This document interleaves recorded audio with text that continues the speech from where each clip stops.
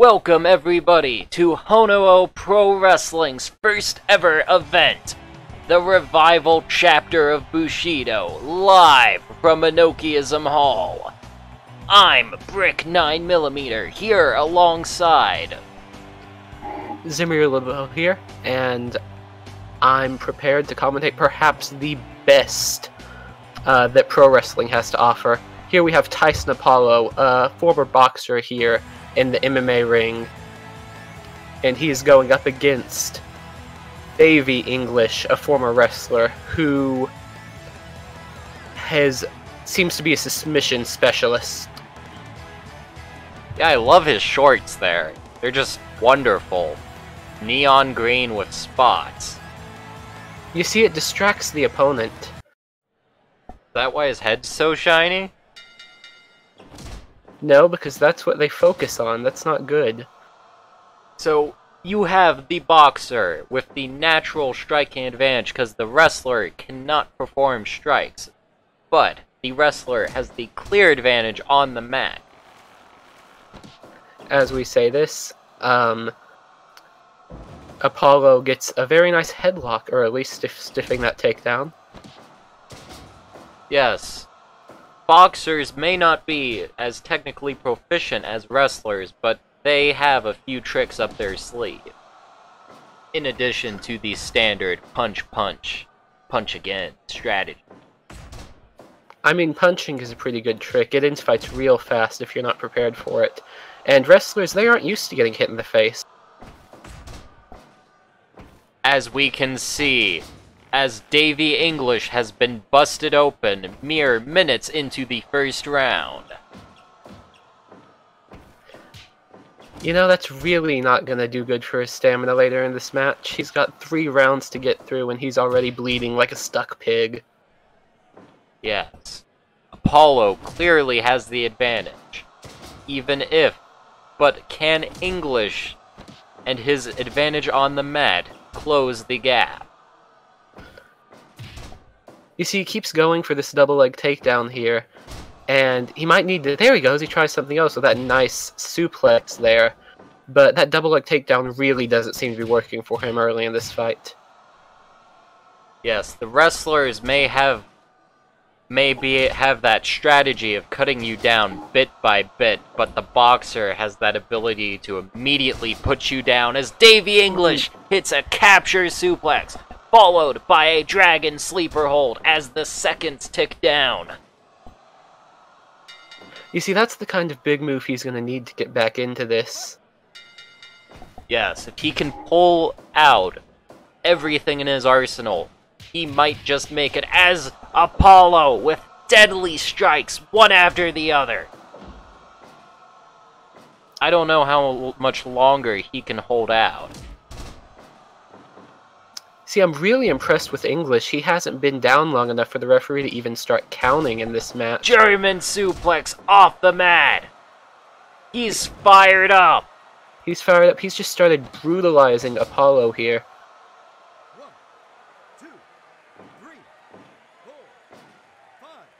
Davey English is not out of the fight yet in this first Block A matchup to open up the first Honoo Pro Wrestling show in history. You see, this is all English needed to do here. All he Is- needed to do to put Apollo away.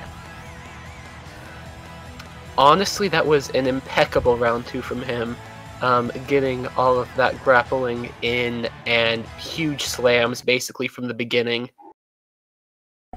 Yes, Apollo may be a proficient striker, but English and his technical skill on the mat won him this first match of the night. As well as the first match in the Honoo GP.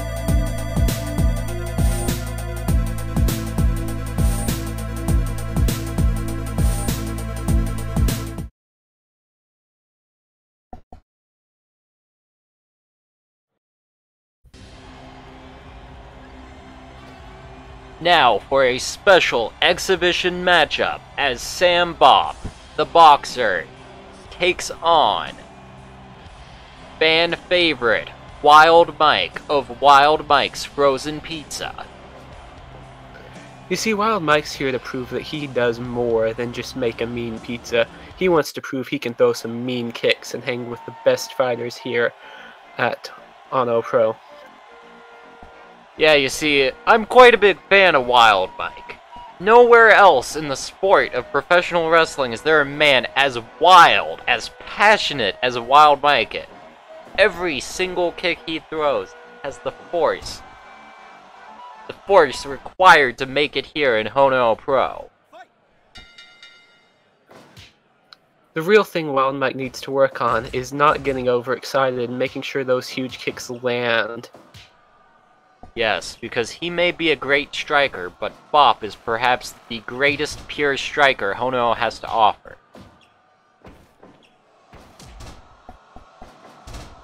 However, And Wild Mike knows that. That's why Wild Mike's taking him to the mat early and putting in these headlocks. yes, Mike has that karateka advantage. He doesn't have to rely merely on his kicks. He has some nasty mat work and holds too.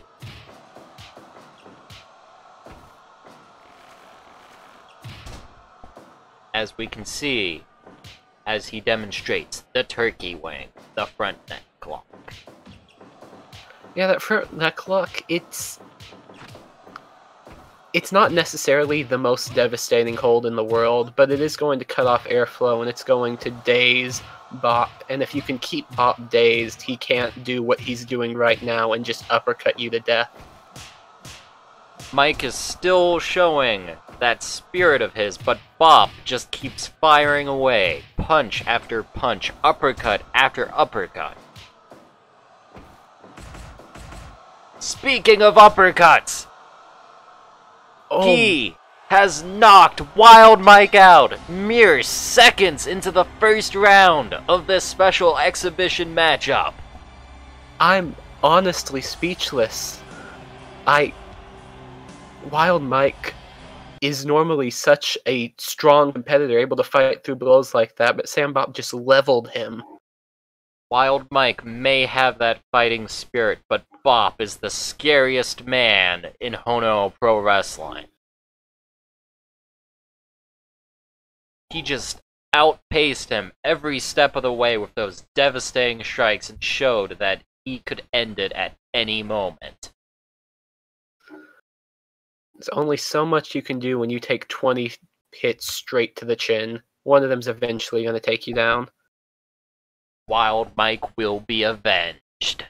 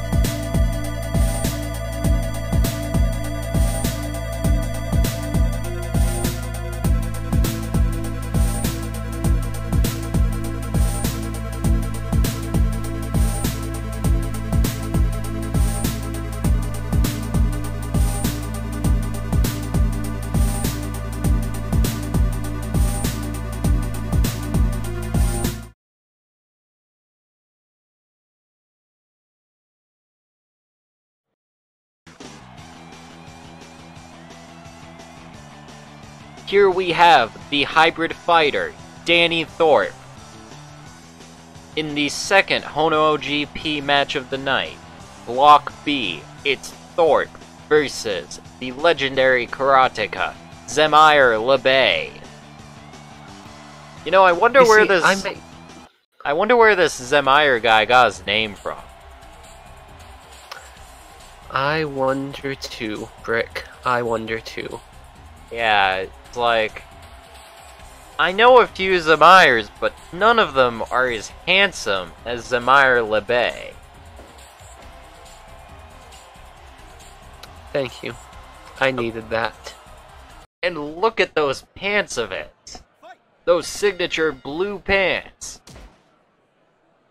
And I see Danny Thorpe here. He is honestly a phenomenal hybrid fighter. He shows some of the best, some of the better striking Honoo Pro has, and also impeccable mat work. But Xemyr has that karateka advantage, the ability to take punishment and come back from it. The ancient technique of Ukemi. Thorpe, on the other hand, is the most dominant hybrid fighter this side of the wall.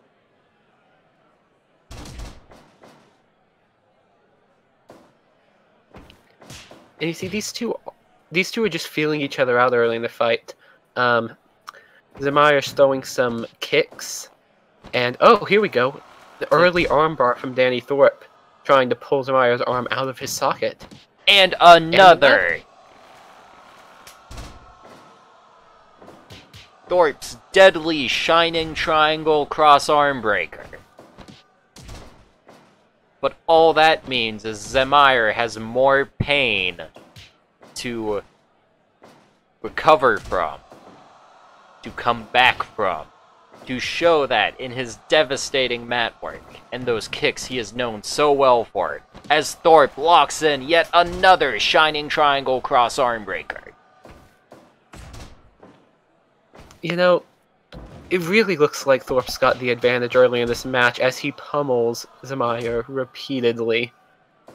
That's how the karatekas get you. They take all that punishment and you think they can't possibly come back. But then when it really counts, they overcome the odds. But I don't know if Xemyr can overcome the odds of getting punched in the face. And another punch right as the bell rings for round two. This round, this second round will be integral in Xemyr's comeback. If he doesn't come back now, I don't think he'll be leaving this arena on his feet. You know, I don't think Thorpe's going to let him come back. He's working on these legs, he's working on that arm. I don't know if Xemyr has a limb left to throw strikes with you may be right. As Thorpe continues to pummel Xemyr on the mat.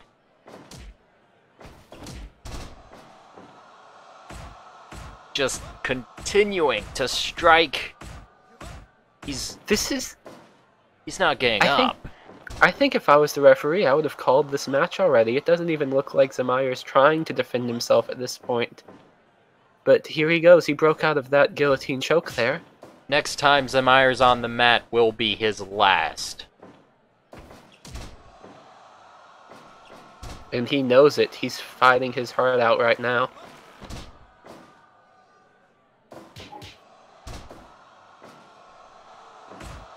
Just continuing. Stop the match! Xemyr has the back of his head pummeled in on the Kleenex brand mat. Sponsored by Kleenex. Thorpe has won his first ever match in Honoo Pro, the second match of the Honoo GP, Block B, in two rounds, three minutes, and 11 seconds with a mount elbow. Honestly, an eight minute deconstruction of Xemyr. I am wholly impressed, and I think Danny Thorpe is going to do great things. I agree.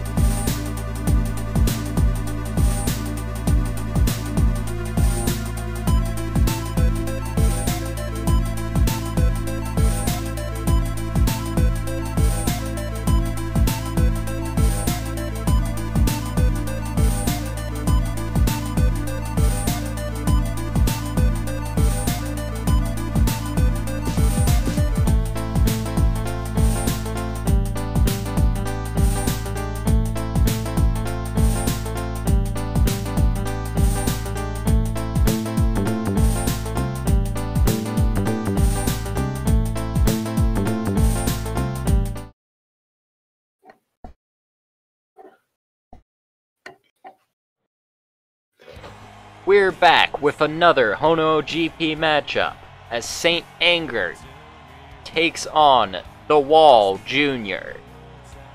in a Block A matchup. Now, Saint Anger is a devastating striker, and maybe pound for pound the best, like, pure striker in Honoo Pro, but can Saint Anger climb the wall? Yeah, the Wall is the most fearsome hybrid fighter we have ever seen, even besting Richard Richards on some occasion. Now, Saint Anger does have the psychological advantage, however. As you can see, they have a very unorthodox appearance. It kind of makes me feel uncomfortable. You know, you take what you can get when you're in the ring with someone like this. Um, if if you throw them off simply by looking strange, you're going to lean into it. But look at them! They're wearing a skirt! That's not Bushido. No, but these thrust kicks are Bushido, and the moment the wall gets hit with one, he's gonna wish that he was in a different state. Yeah, Saint Anger is a risk taker. Those thrust kicks may miss the mark as often as they hit, but when they hit, they do devastating damage. Damage that Saint Anger will need to ensure she ensure they have any chance of standing up to the wall and his fearsome array of spears and power bomb. You see, Saint Anger is honestly taking the correct approach here, getting all these quick strikes in, trying for thrust kicks, keeping distance. Because if you get if you grapple with the wall, the wall is going to do things like this. Rear naked choke, but wasn't locked in long enough to do any serious damage. You see, the wall is a former boxer. You can see this in his approach to striking. He's very slow and deliberate. He's slow, he's deliberate, and each of these jabs has a purpose. He's softening Saint Anger up and making them lower their defense. And as round one ticks away, neither of these competitors have really gotten the upper hand. No, they're still on equal footing. For now.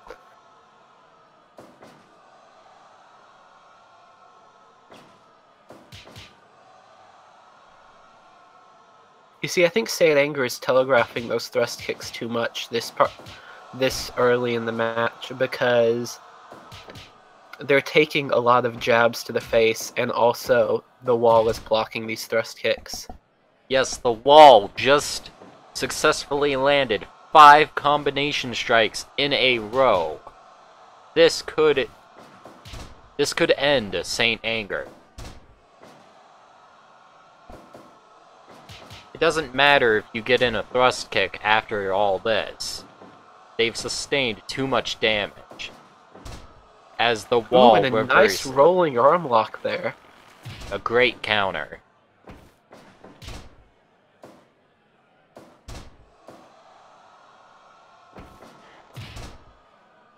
The wall has begun a one-sided assault. Just huge clubbing blows there. Saint Anger desperately tries to close the gap, but I don't think the wall will let this comeback attempt come to fruition. As the wall runs Whoa, with a devastating spear shoulder tackle. For Another another one, but Saint Anger is aware enough to dodge it. swiftly dodged, but the wall! The wall! Power bomb! Saint Anger's footwork saving them from certain death, but this could be the end for them. As they get up at the six count.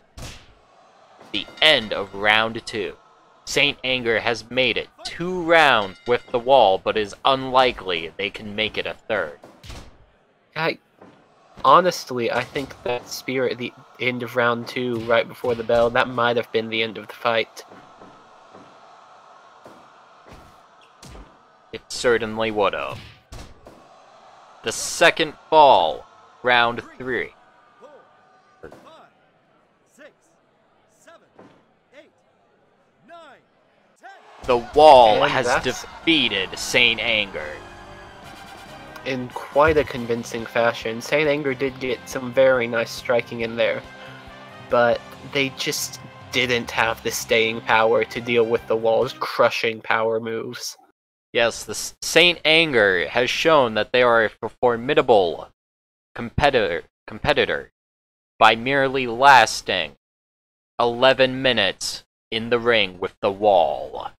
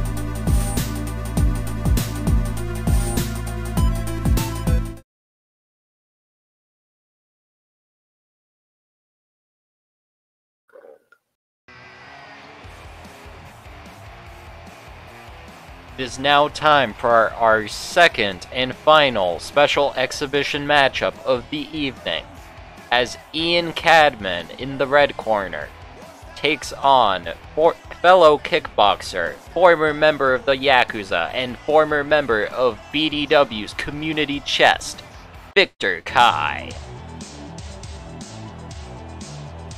You see, this might honestly be the dark horse for most exciting match of the night. Both of these competitors are amazing strikers, and they're just going to charge at each other from the word go. Yes, both men are highly efficient kickboxers.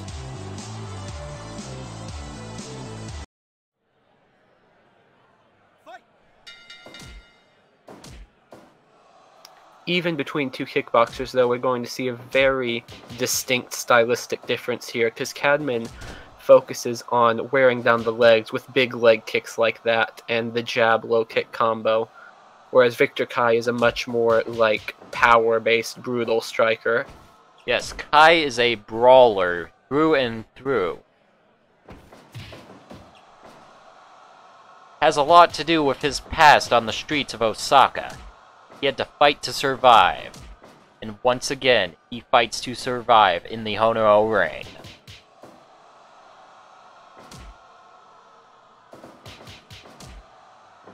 Again, these two just trading kicks back and forth like it's nothing. Cadman leading into them with jabs. Of course, Kai favors slower Shote hooks, whereas Cadman's emphasis is completely on speed.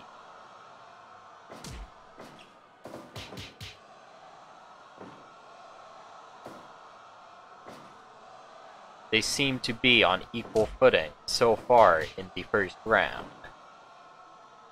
They're on equal footing, and both of them are circling each other. Neither of them want to be caught out with a big kick, like Cadman just threw out there, that fierce slow kick.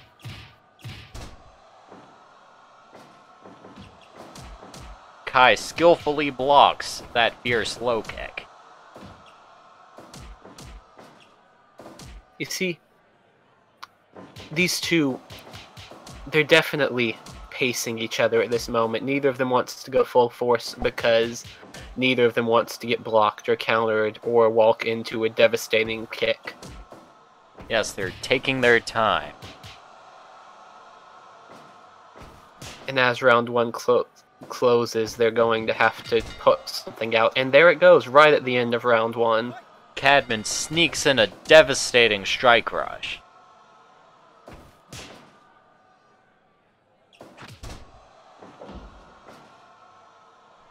Cadman now has the clear advantage, but Kai still has plenty of time. Will he catch up? All Kai needs to do is just launch a big strike of his own. Kai gets up at Any- the four count. Any single kick could end this fight. Yes, that's what makes kickboxing so exciting. It can end at any moment.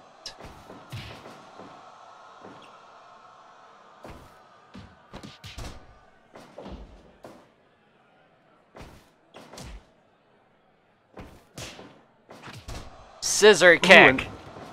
Amazing axe kick followed by those knee drops to the face. But Cadman answers it with a spinning kick of his own.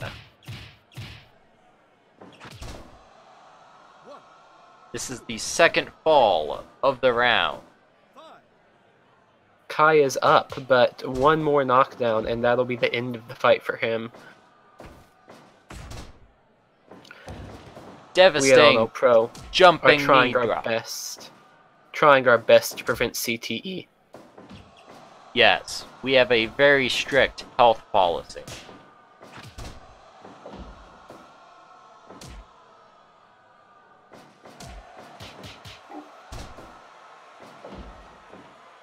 This is looking bad for Kai. It is. It's looking very bad for Kai, but he's just trying his best to hang on for these last 30 seconds of round two. And, it looks what like an he might effort Very indeed. well be able to do.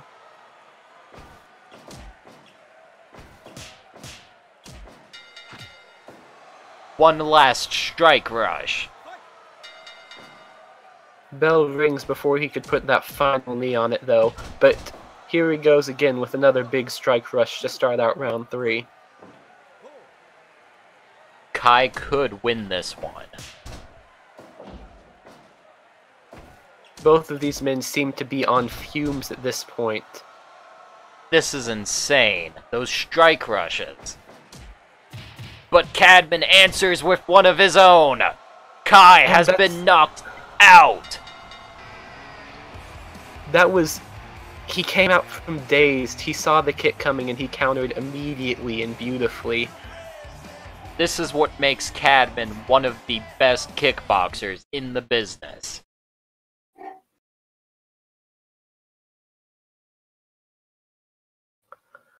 Victor Kai still has a long road ahead of him in proving that he can make the transition from pro wrestling to Honoo Pro.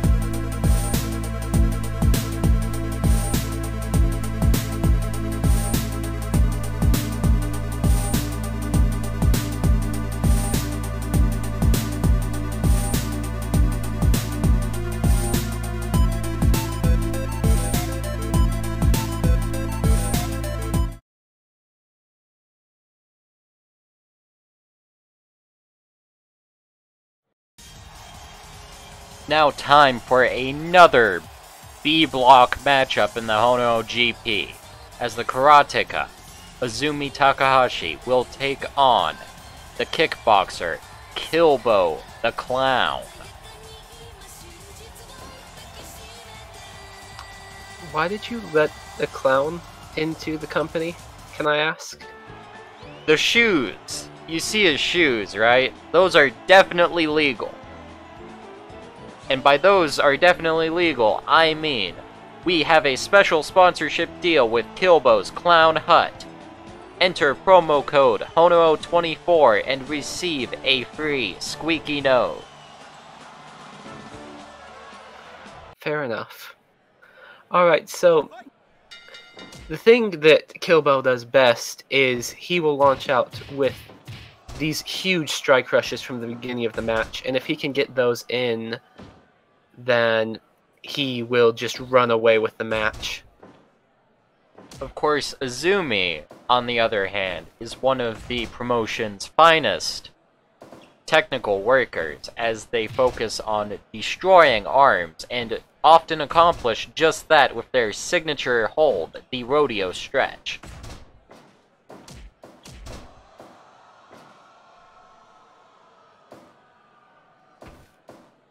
Now, early in this match, it looked like Azumi's almost trying to strike on equal footing with Killbo, which doesn't seem to be to her advantage. She looks to be six inches shorter and much lighter. She can't even take advantage of her speed, as Killbo is also very fast.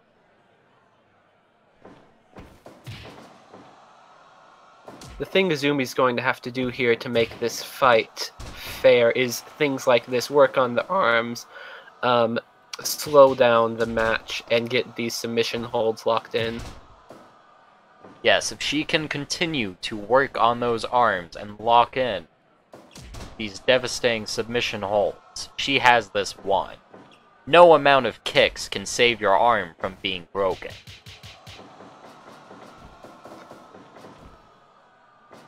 And she tried to get the advantage there by launching into a big running attack, but it, Killbo was at least not dazed enough to fall for that. Yeah, he was examining a shoe, wondering how they're lethal.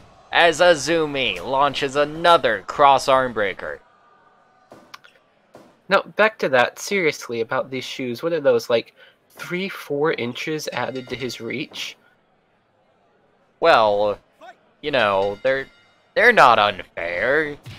They're not loaded. Now, any amount of shoe is not going to stop you from getting your arm broken like this. Yeah.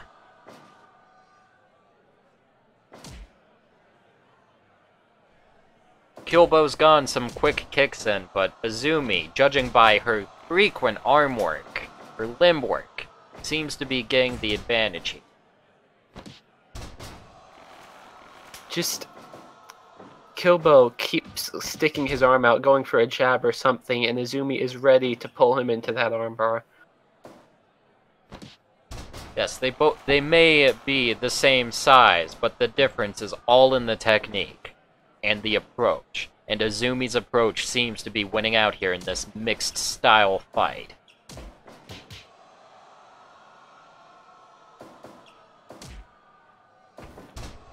Wakigatame! Very quickly escaped, though. Again, having your arm pulled like that is brutal. Every second could be lethal.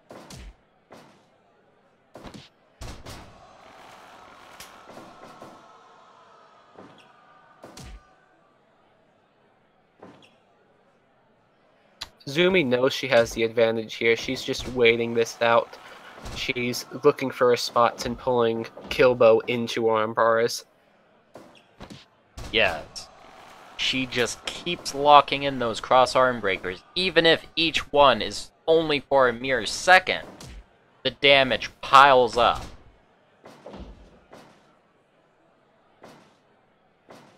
And as round two ticks away. Rodeo oh, stretch! She is aiming to destroy Killbo's arms and heading into the third round. She might do just that. And there we go. Killbo doesn't even have the arm strength to hold his arms up for strikes anymore. Every single move is just focusing on an already damaged body part. This could, and very well may be, the end for Killbo the Clown.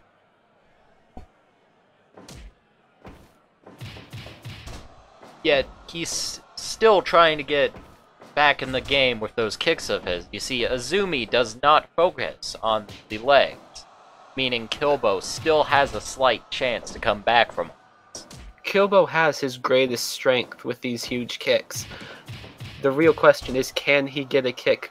Yes, And he can. yes, he With can. a brutal knee to the face right at the last moment. And Killbo overcomes the odds of getting his arms obliterated with a devastating knee strike to the face, knocking Azumi clean out and ensuring his first Honoo victory in this B block match in the Honoo GP. That said, Azumi showed extreme heart, able to just lock in armbar after armbar and execute her game plan to perfection. She just couldn't defend against that last knee strike. Yes, I'm sure after her performance tonight, she's made more than a few new fans.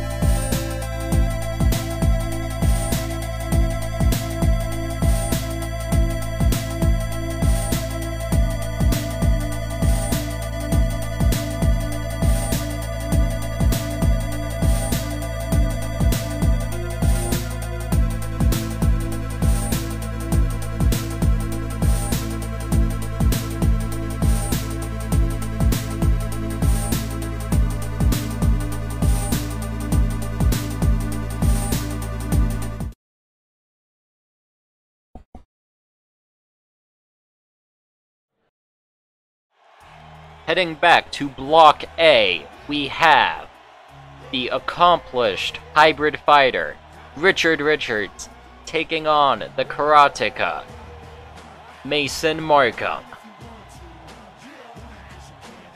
This event, see a i- li- this event is sponsored by Scooby Doc 4 The Destroyer, featuring Atsushi Onita exclusively for the Panasonic 3DO.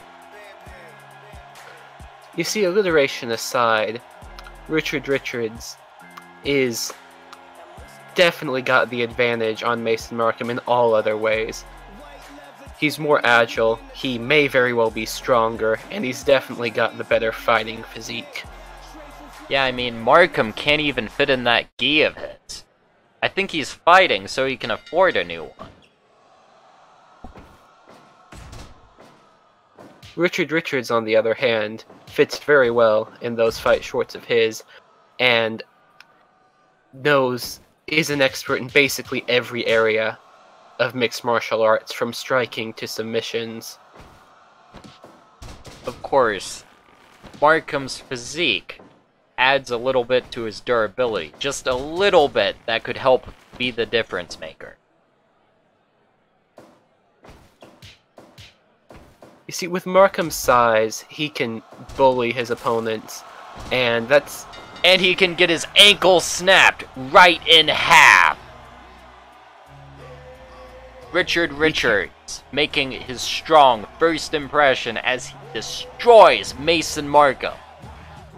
you can't even you can't bully your opponent if the first thing you do is get your leg broken at the knee.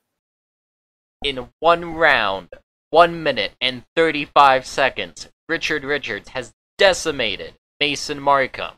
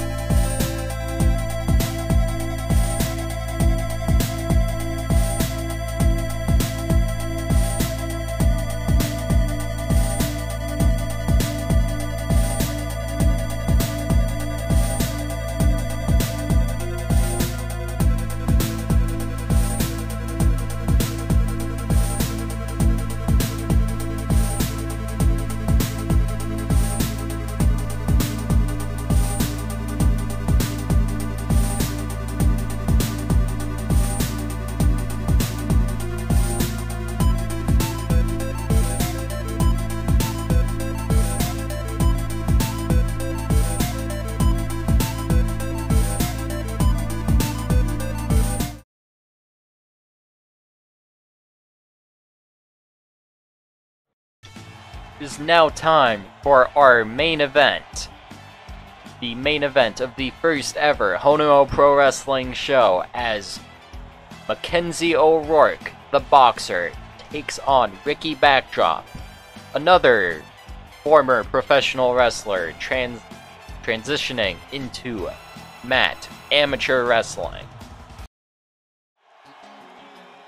And you see, unlike Victor Kai, who has a relatively extensive kickboxing shoot fighting background to begin with, Ricky Backdrop was trained in classical Greco Roman wrestling when he began professional wrestling, and he takes that into Honoo Pro. Whereas Makenzie O'Rourke is an accomplished women's boxer out of Dublin, Ireland, who is known for her knockout power and her aggressive striking. Of course, Backdrop is the most efficient suplex user in Honoo Pro as he demonstrates right there with a devastating double arm suplex. He almost sends Makenzie flying out of the ring right there.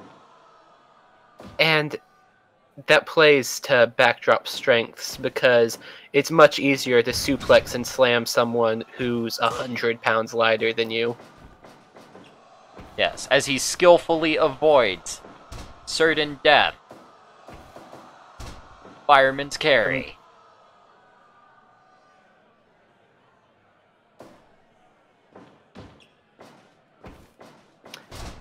You see, Ricky Backdrop is offering those handshakes, but I wouldn't trust them for a second. It's just one of his mind games. As we see here, cross arm breaker. Backdrop's forte is all in the suplexes, but he can bust out a few holds. Makenzie's trying her best to avoid these arm breakers now that she knows that Backdrop is not to be trusted. She's responding with some nice strikes of her own. Of course, Backdrop skillfully avoids Makenzie's most devastating move.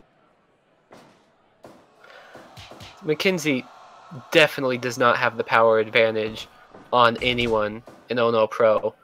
So she uses these running punches as a way to even the odds, get all of that momentum behind her strike. That said, that's not doubting her KO power because any one of these punches from Makenzie O'Rourke could end this fight. Of course, so can Backdrop, stomping on Makenzie's head to close out the first round.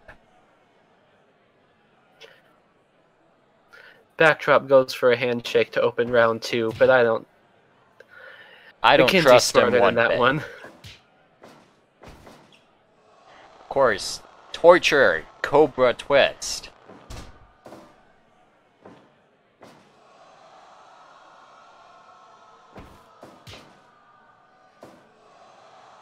Neither of these two seems to have a clear advantage at the moment.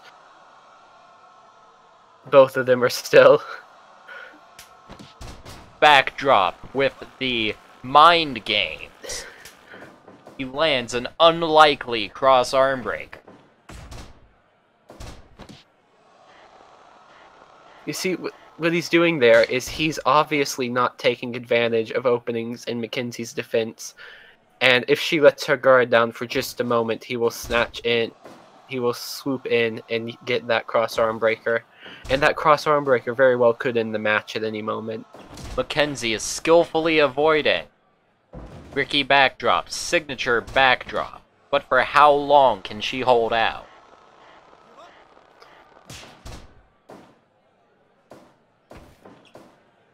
Apparently that long.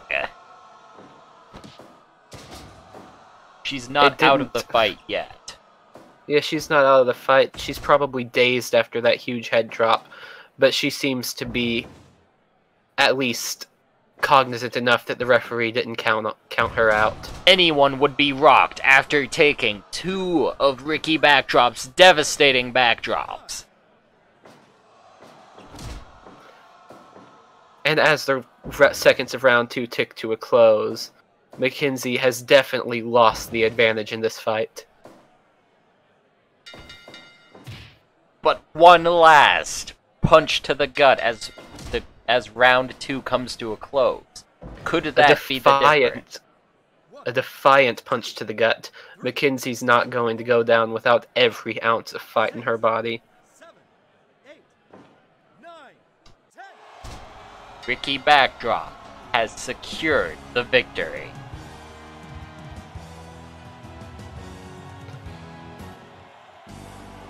Three rounds, and for most of that, until Ricky Backdrop started hitting his backdrops, it seemed to be an even fight. But after getting dropped on your head from behind, there's not much you can do. Yes, Makenzie with a heartwarming, star-making performance in this fight against Ricky Backdrop to close out the first ever Honoo Pro Wrestling show, night one of the Honoo GP. What a night it was, Brick. Yes. I'm Brick 9mm. He's Xemyr Le Bae. he's Xemyr Le Bae. Zemire LeBay. Thank you, and good night.